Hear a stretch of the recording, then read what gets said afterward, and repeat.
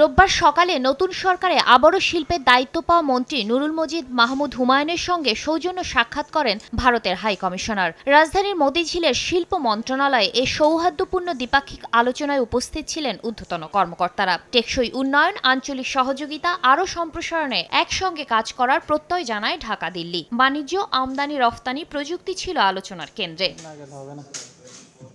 বৈঠক শেষে গণমাধ্যম কর্মীদের প্রশ্নের জবাবে শিল্পমন্ত্রী দাবি করেন, দেশে সারের কোনো সংকট নেই, তবে সারের দাম খুব একটা কমবে না বলেও জানান মন্ত্রী।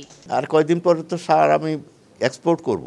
কারণ আমার তো প্রতিদিন আমার আঠাইশশো মেট্রিক টন হচ্ছে গোড়া সালে আমার যমুনা আছে, আমার স্টক আছে, সেই স্টক আমার আমদানি করার প্রয়োজনও পড়ে না। কাজে I have got enough stock সেখানে করেছে, সারের। আমার কোনো অভাব নেই। কোনো ডলার পড়ছে না। আগামী মৌসুম যে I am secured everything we've done it সারের দাম ওভাবে কমবে না আজকে ইন্টারন্যাশনাল মার্কেটের ব্যাপার আছে।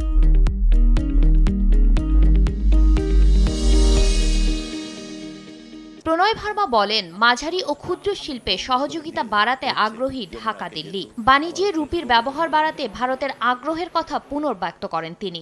Our medium and uh, small uh, medium and medium industries. Uh, I think SMEs are very important uh, backbones of our uh, economic development, and we need to. We can learn from each other's experience. Trade in Indian rupee, we have instituted mechanisms like that to facilitate uh, better uh, conditions for our uh, for our business community on both sides. নতুন সরকারের সঙ্গে পরবর্তী পাঁচ বছরে চলমান এবং নতুন সহযোগিতার বিষয়ে আলোচনায় প্রাধান্য পেয়েছে বলেও জানান ভারতীয় হাই কমিশনার শাতিলা শারমিন সময় সংবাদ ঢাকা।